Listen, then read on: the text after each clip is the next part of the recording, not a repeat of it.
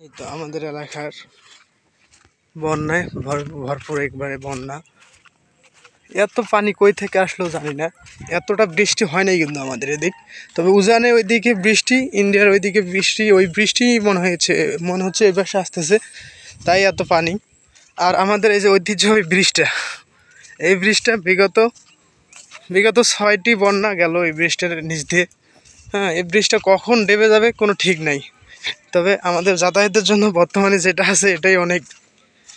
তাছাড়া তো আমরা মানে আমরা যাতায়াত করতেই পারব না। হ্যাঁ এই ব্রিজটা এই ব্রিজটা কবে সংস্করণ হবে, নতুন করে আরও নতুন ব্রিজ হবে আমরা জানি না, আমাদের আদৌ জানা নাই। আমাদের জনপ্রতিনিধিরা কি করে? এত এত এত একটা এত একটা নিম্নমানের ব্রিজ এইখানে আছে। এই ব্রিজটার কাজ করতেছে না। শুনতেছি, ওইখানে ব্রিজ হইতেছে, ওইখানে ব্রিজ হইতেছে, নতুন ব্রিজ হইতেছে। অথচ এই এই এত সুন্দর একটা ব্রিজের কাজ হচ্ছে না। জানি না কবে এই ব্রিজটার কাজ হবে।